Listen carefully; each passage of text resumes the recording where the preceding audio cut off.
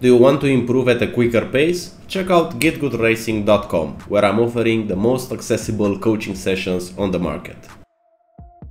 Now for the track guide. Turn 1, it's the no chicane, so it's an easy flat initially, but what you need to do instead is to time the moment to do the downshift, because right now this is gonna be almost flat out. Um, you can't do it flat out unless you have a lot of downforce with this car. But if you're gonna run a setup which will be more suited for Monza, running less wing, you won't be able to turn this car to take this corner flat. So what you're gonna do instead is just do a small lift. But what's important here to maximize the speed is to be very precise with the apex. In high speed corners, you really want to get as close as you can to the apex otherwise you're gonna cover longer distance. And this is exactly what's happening here. So flat six gear.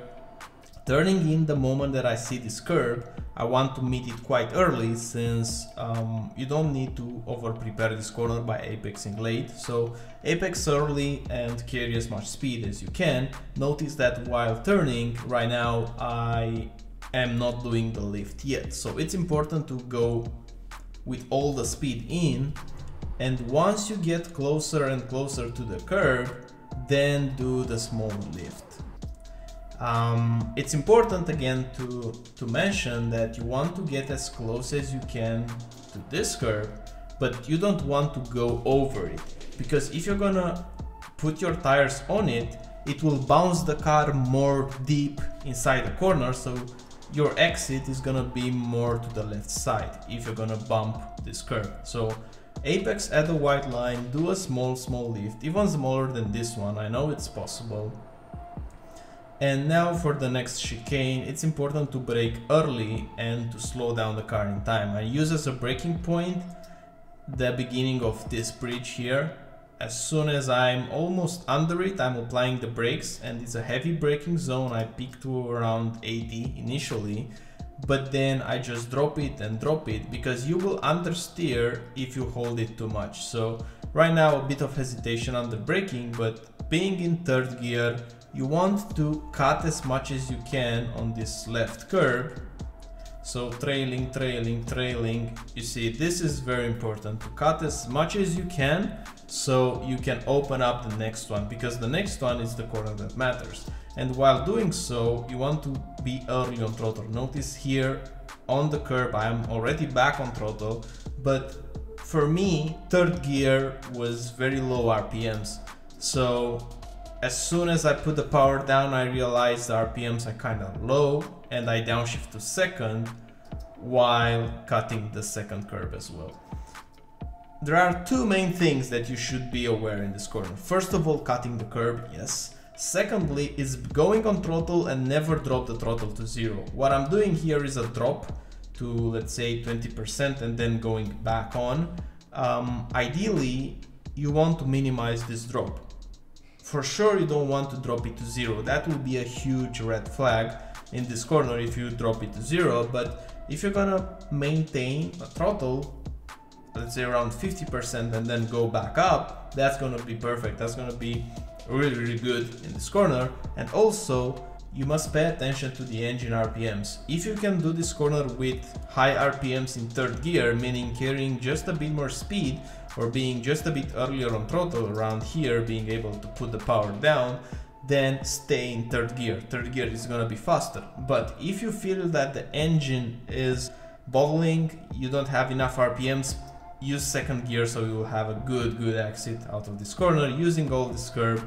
And now for the next corner I don't have an exact and precise braking point. I brake mostly on feel. I'm looking at this right curve.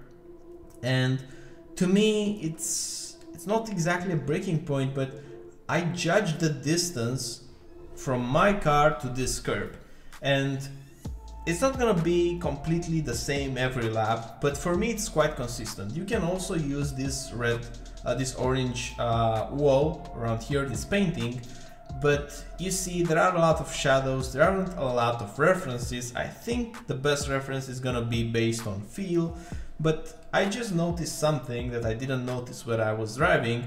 You have a, a bit of grass here on the white line. Um, I'm not sure if this grass appeared, this green thing on the white line appeared because I cut the grass while doing laps.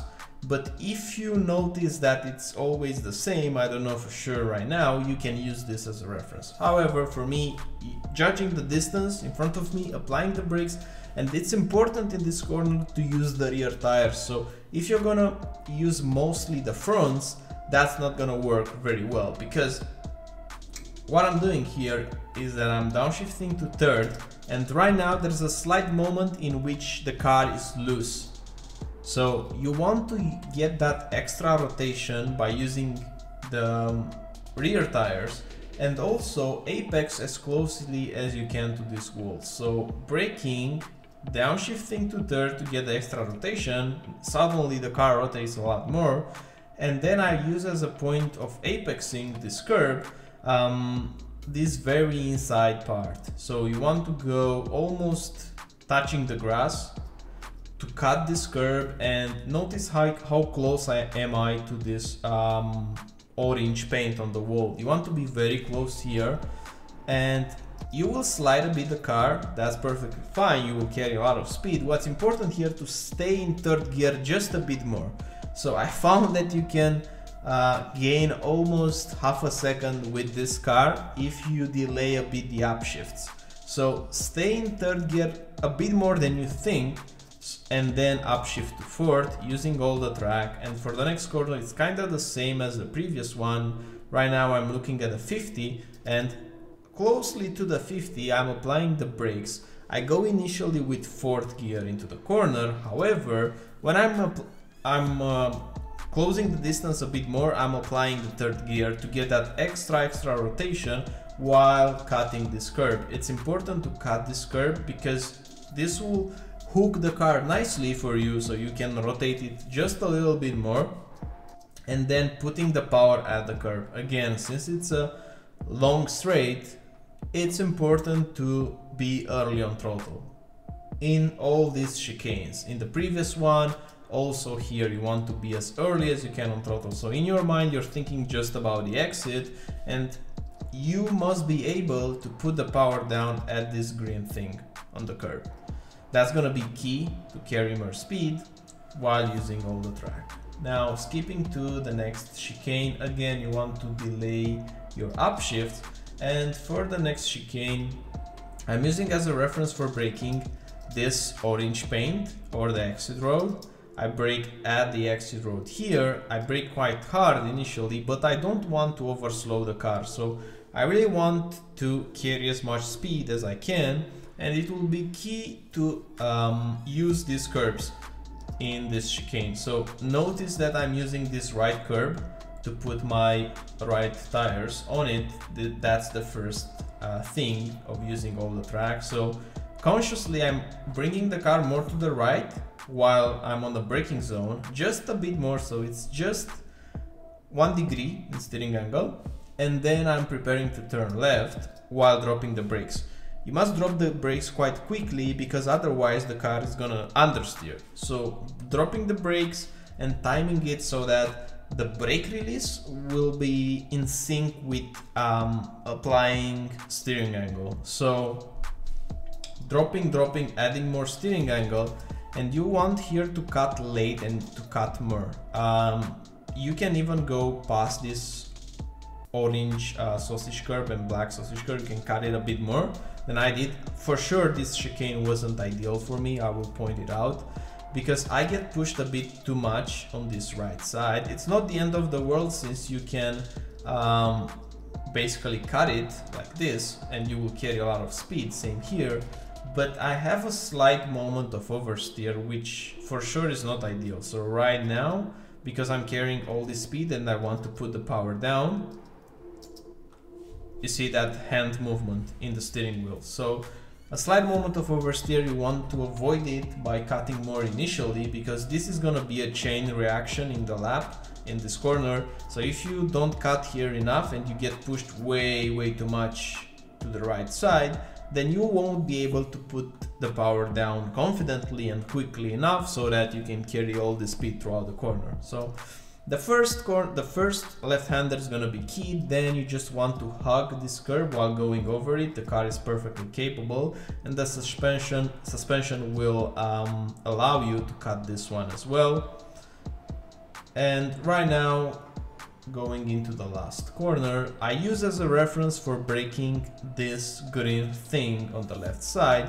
In my mind, I'm braking almost at 100, so I don't want to brake at the beginning of the green, but not in the middle. It's something in the middle of the middle and the beginning, if that makes sense.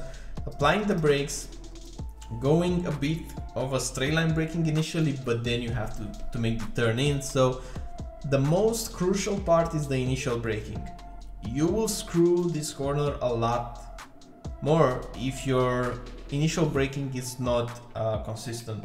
So you have few moments on the straight line braking in which you can really slow down the car efficiently because after that you just have to turn and trail brake and because it's a corner in which you want to carry a lot of speed, you don't have a lot of wings, the car will almost feel like a boat and it's gonna be hard to control it. Um, so that's why it's crucial that you will maximize the efficiency under straight line braking in this 20 meters or 30 meters that you, you have this window. Like right now, braking hard, so picking closely to 80 and then doing it more like straight line, look like I'm, I'm now almost pointing straight, I'm just giving it a few degrees and the moment that you're gonna release the brakes then you're gonna ask more for the front tires by using the steering wheel.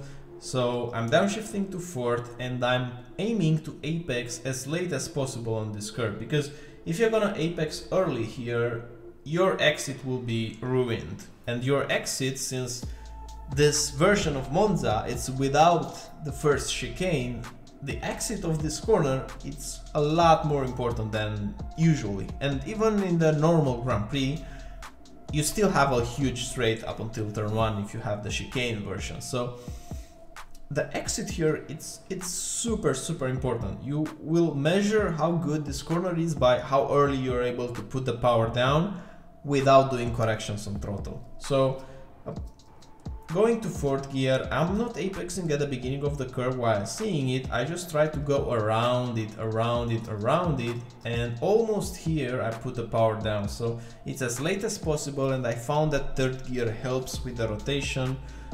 Otherwise, fourth gear is gonna be faster in the middle part of the corner, but then it's gonna lose all the time and more uh, on the straight.